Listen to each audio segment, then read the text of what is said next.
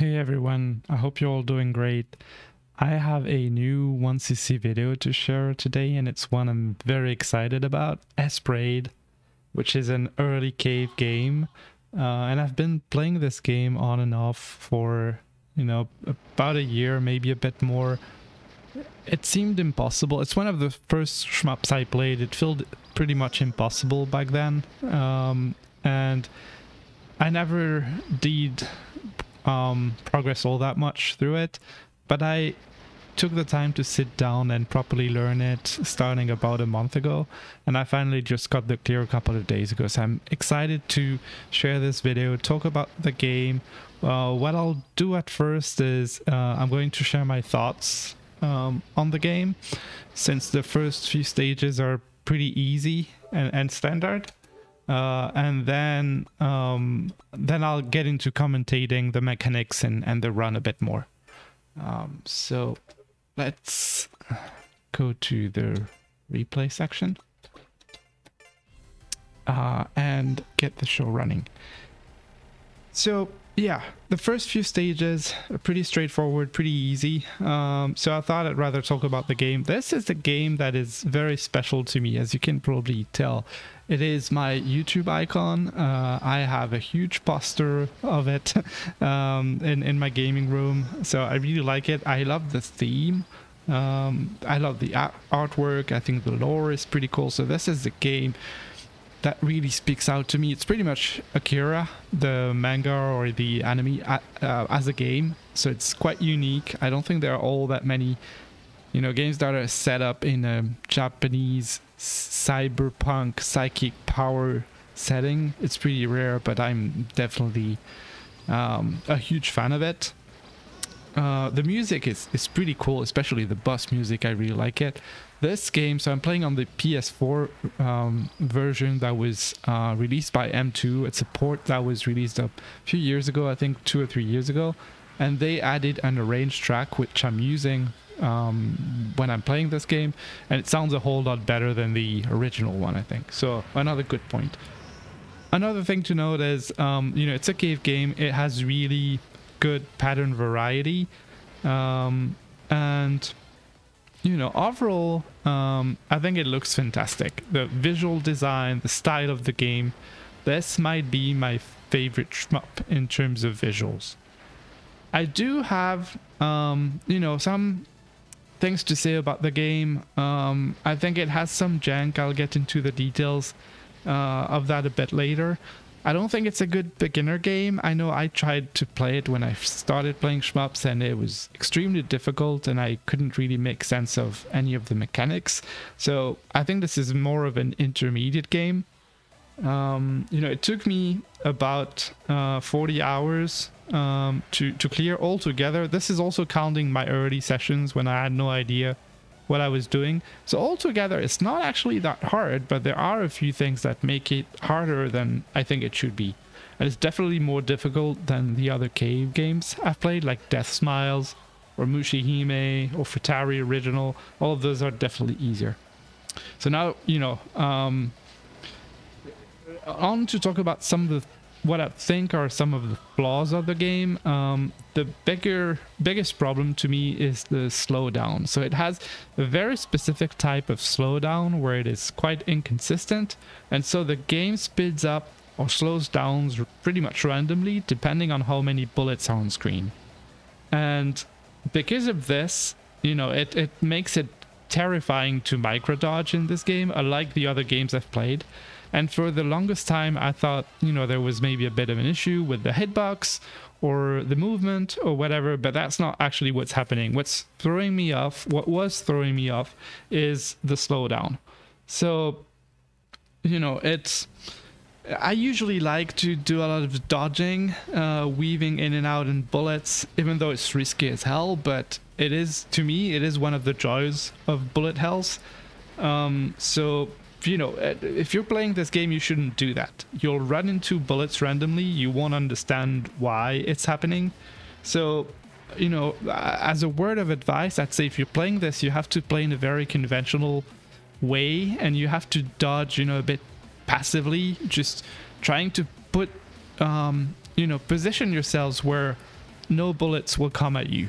Uh, I know it's easier said than done, but and it's probably the better way to learn how to play shmups. Uh, but that means you need really good fundamentals to do that. You know, it can't just be dodging the last second because that just it, it a lot of times in a lot of sections it just doesn't work. Um, another thing I don't really like about it is it's very punishing on death. So shields are very strong in this game. Uh, shields are pretty much your bombs. Uh, I'll explain that later. So you, you get around four shields per life. You can cha charge them and they do, you know, pretty solid damage, especially to bosses.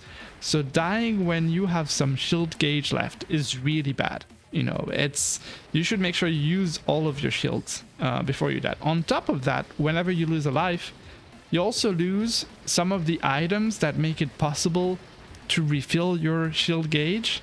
Um, you know, I think you lose 50 or 100, something like that. Uh, so that's an additional penalty. Uh, and most importantly, there is power loss on, in this game. So uh, when you lose, um, you know, uh, your power level, default power level is, is 5 out of 5. And when you lose, I think you get brought down to 2. So that means you're pretty weak and you won't um, do much damage. And the issue with, with that is um, to after dying to generate um, power items to recover, then you need to destroy uh, bigger enemies. Um, and uh, because you're not doing much damage, in later sections of the game, sometimes it's really difficult, if not almost impossible, to bring your power level uh, back. So then you end up having to use more shields to cancel bullets, uh, and then that generates um, power um, power items as well.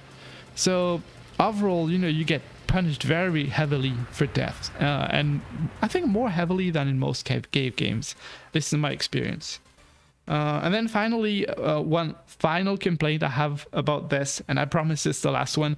The difficulty of the game is very backloaded, so it's it's all in stage uh, four and five, uh, I'd say, and this can make uh, runs uh, specifically frustrating.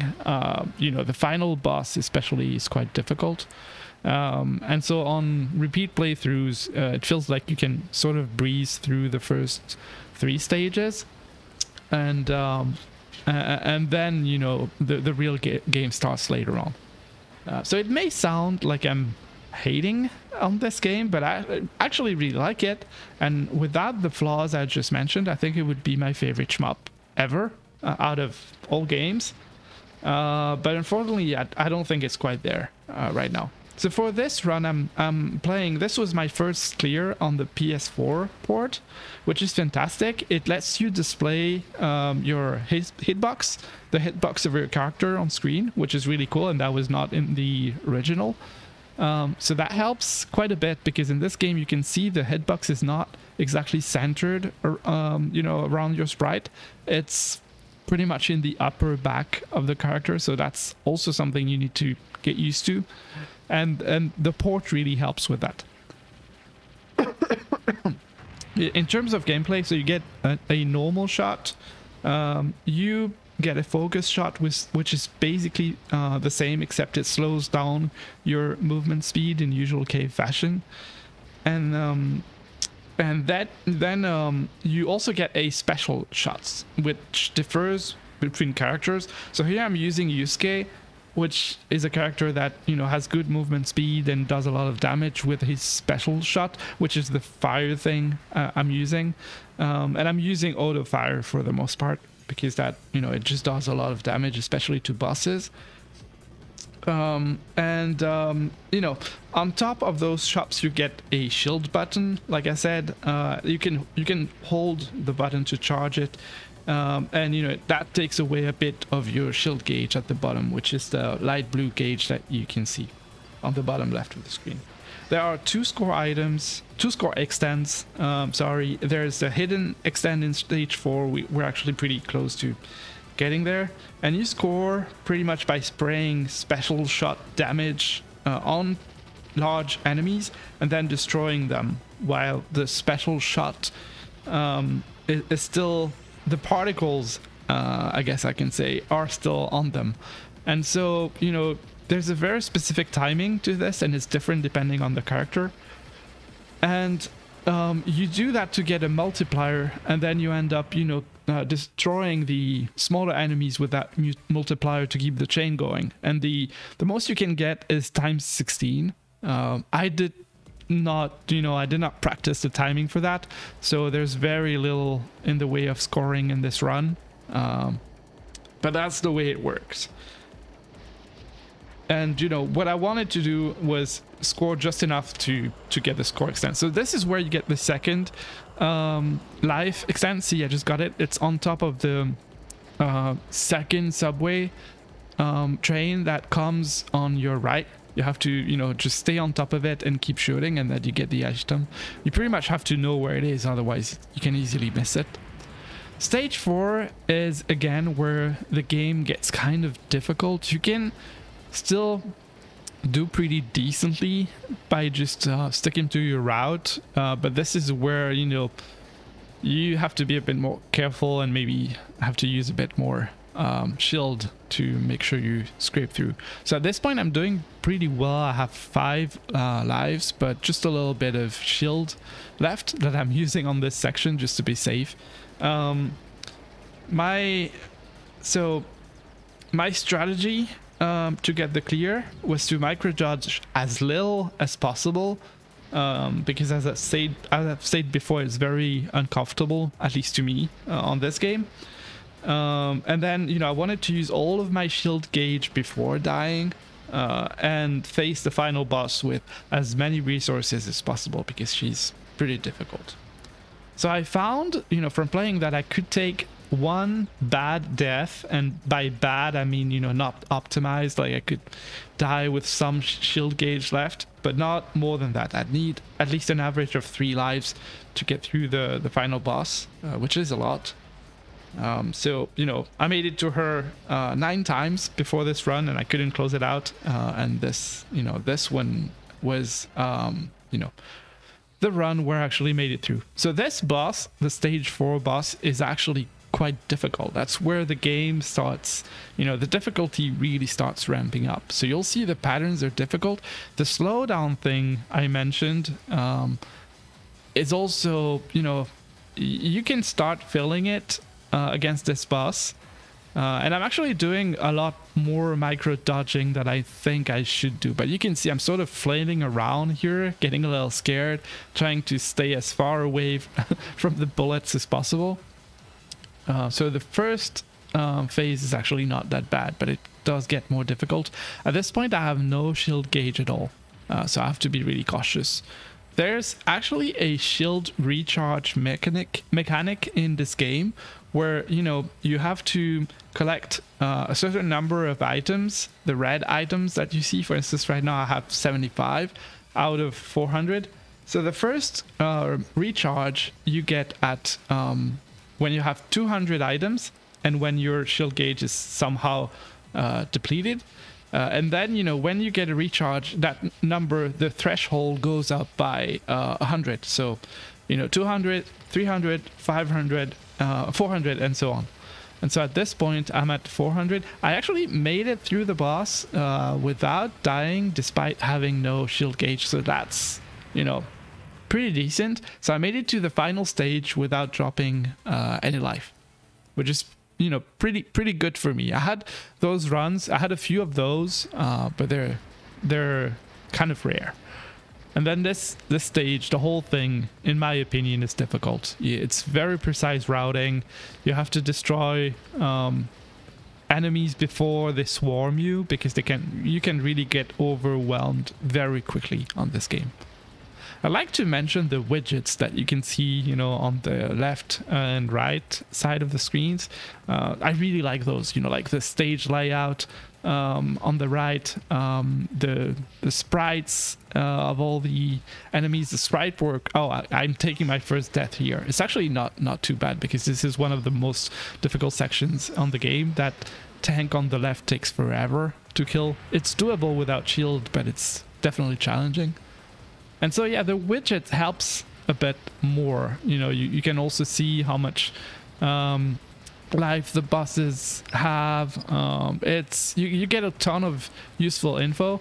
I actually play this on um, Tate, Tate, uh, so you know um, vertical screen, so I don't use the widgets, or at least not not as many.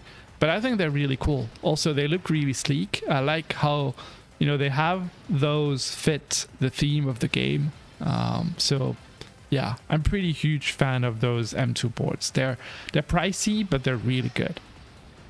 And one thing I haven't mentioned is this game also have a um, so there's a super easy mode, but it's actually too easy. Honestly, it's it's very difficult to die on this game, uh, and I mean I actually do mean too easy. I don't mean it's for beginners. It's just it's even boring for beginners.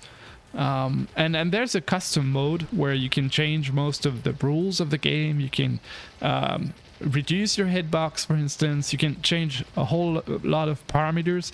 Uh, that is pretty fun. Obviously, you know that's not what I'm playing here. I'm playing the um, arcade version of the game.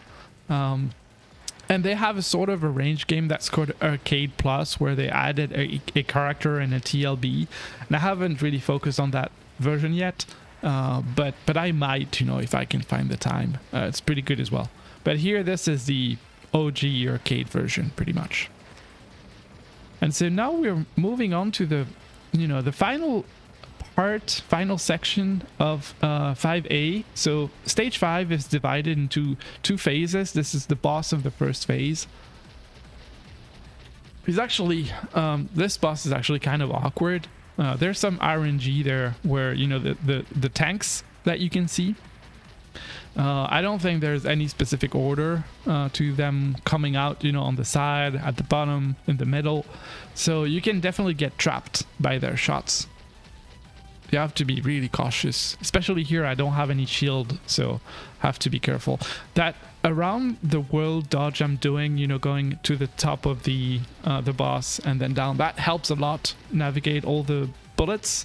It makes it a lot easier, but you can still get trapped for sure.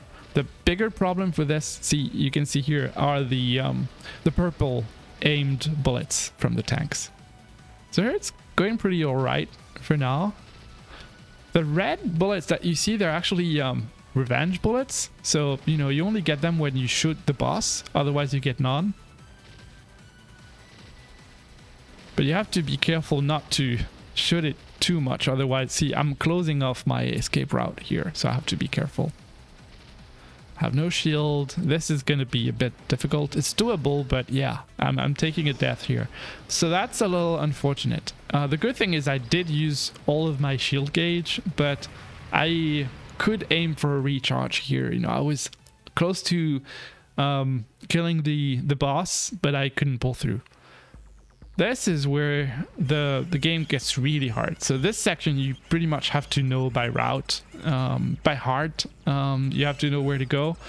Once you know it, it's not that um, difficult, but it's definitely overwhelming at first. And see now I'm getting the power items from killing the, the larger enemies, but it's difficult for me to pick them up because of all the enemies and all the, the bullets, especially those Alice clones. Um, so I make it through Brilliant Cave. I, I think at this point I was very nervous because, you know, this is a pretty good run. Uh, I have three lives. I'm going to get the final score extend, I think. Uh, you know, I'm pretty close. So on here, I definitely didn't want to take a death. This is why I'm using my shields, um, you know, just to play safe. I've had so many runs where I get close to the end with a bunch of lives and then I end up being greedy with my shield. And because the micro dodging feels, well, kind of dodgy uh, on this game, uh, it, it, it doesn't feel good when you, when you lose lives with resources.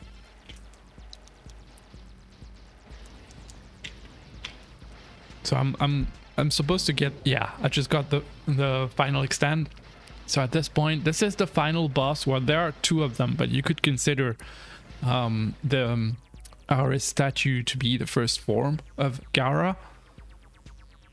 And so I have four lives, um, about 50% of shield gauge. I think this is uh, the best I've done at this point, you know. So I felt like at this point I just want to close out the the game so I'm going to use my shields especially since you know on this bus there's a lot of RNG so the patterns that you get are random. They're randomly chosen out of a pool of patterns and this is one of the worst ones. The um, you know the purple uh, arrows is, was one I really hate. So yeah so that was an unfortunate death and then I felt like well you know at this point maybe I'm not gonna get the clear even though it was looking pretty good but I know it's still doable on three lives. And I've practiced the final boss a lot. One one thing you should do if, is if you want to go for the clear, keep practicing the final boss because it's quite difficult. Um, you're just not going to pull through without knowing what's coming.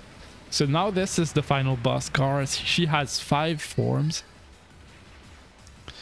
This pattern is really, really deceptive. It looks easy, uh, but um, again, the, the, the bullets do speed up and slow down, you know, kind of randomly.